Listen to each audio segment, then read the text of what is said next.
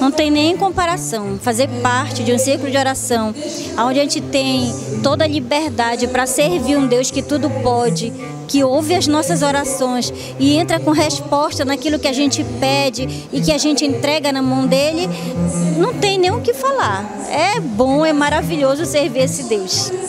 Se você sente vontade, necessidade de orar, de receber uma bênção, de receber um milagre e ter sua vida edificada, vem para o círculo de oração. O Deb está aqui para te receber de braços abertos. Pelo poder da fé, Deus vai operar na sua vida em nome de Jesus. Amém.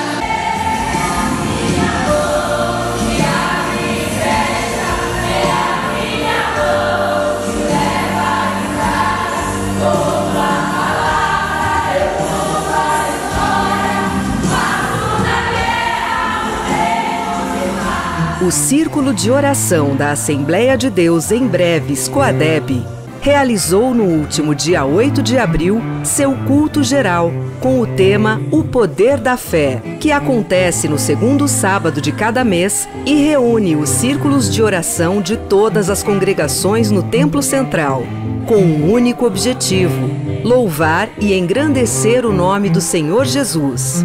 Louvor. Eu sei que a difícil de seguir. É tão bom estar sorrindo. Adoração. E a mensagem de Deus para os corações. E a nossa certeza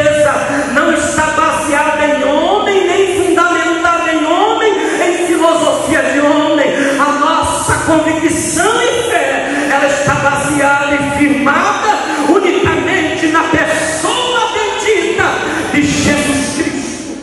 Nosso escuto vem sendo muito abençoado, cheio de testemunhos, hinos é, abençoados.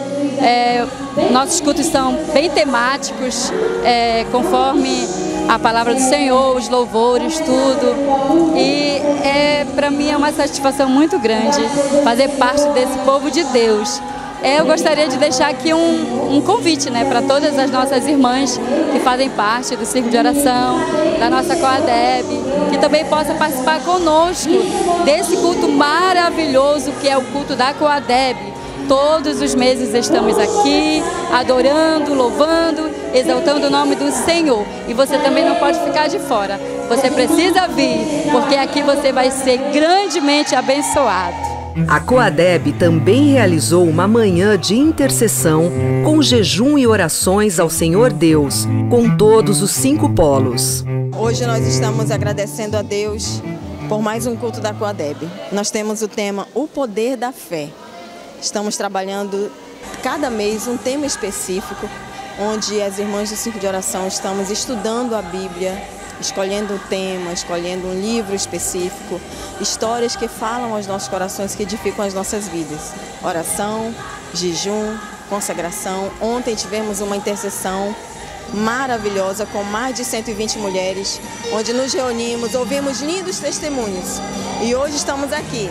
Graças a Deus, a igreja está cheia, as irmãs estão participando e nós louvamos ao Senhor porque temos visto milagre, temos visto testemunhos de fé, temos visto que o Senhor tem feito maravilhas no meio do círculo de oração da Assembleia de Deus em breves. E eu louvo a Deus pelo apoio da igreja, pelo apoio do nosso pastor presidente, pastor Marconi, pelo apoio do ministério, de todas as equipes que trabalham com a gente, com as líderes do Círculo de Oração, que têm feito um trabalho excelente ao lado de suas presidentes.